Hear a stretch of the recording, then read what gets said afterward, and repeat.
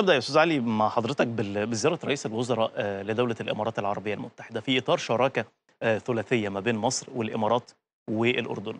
طبعا استقبال من جانب آه، رأس الدولة آه، لرئيسي الوزراء، فعايز أتكلم على هذه الزيارة ومردودها وأهميتها وإزاي ممكن نخرج منها بكامل الاستفادة فيما يتعلق بالدول الثلاثة. الحقيقة إنه العلاقات بين مصر والإمارات هي علاقات ممتازة، علاقات جيدة،.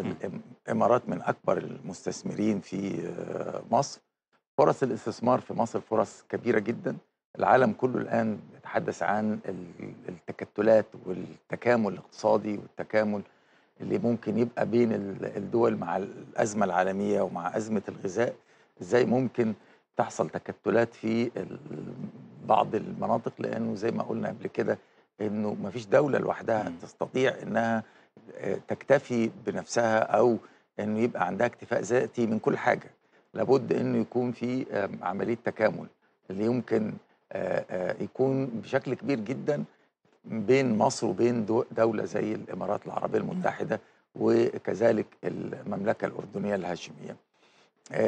حجم الاستثمارات في آآ الإماراتية في مصر ناجحة، وكل الشراكات اللي تمت أو كل المشروعات الإماراتية اللي كانت على أرض مصر هي مشروعات آآ ناجحة، والحقيقة إنها مشروعات نموذجية كمان. في الن في النجاح، وده بيؤكد إنه الاستثمار بين البلدين مفيد للطرفين وبيخدم العلاقات وبيخدم المصالح.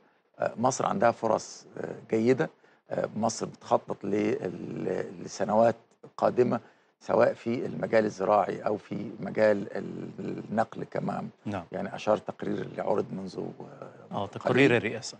آه مم. ال ال هذه المشروعات الحقيقة كلها بتفتح آفاق الاستثمار لدول كثيرة جدًا، وإنه آآ مصر بتستقبل ال ال الاستثمارات وهي على أرض قوية، أرض صلبة، لأننا قدر يعني نستطيع إن إحنا نقول إنه موجود كل البنية التحتية مم. التي تساعد على آآ وجود استثمارات كبيرة سواء نقل أو طاقة، طاقة بمختلف آمم مشتملاتها يعني سواء طاقة كهربائية أو غيره، عندنا وفرة في آآ هذا المجال، مما يساعد على إيجاد عمليات تنمية كبيرة أو آآ وجود مصانع أو وجود شركات أو إنتاج زراعي، والحقيقة إنه مصر حققت خطوات كبيرة جدًا ونجاحات كبيرة جدًا في المشروعات مم.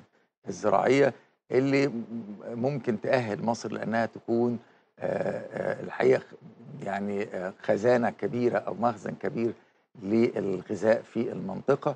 آآ شُفنا قدرات مصر في تصدير المنتجات الزراعية كانت الحقيقة آآ متطورة جدًا ومتقدمة جدًا، وبتستهدف مصر في ال الفترة المقبلة إلى إنه تضاعف من. صادراتها ال ال الزراعية.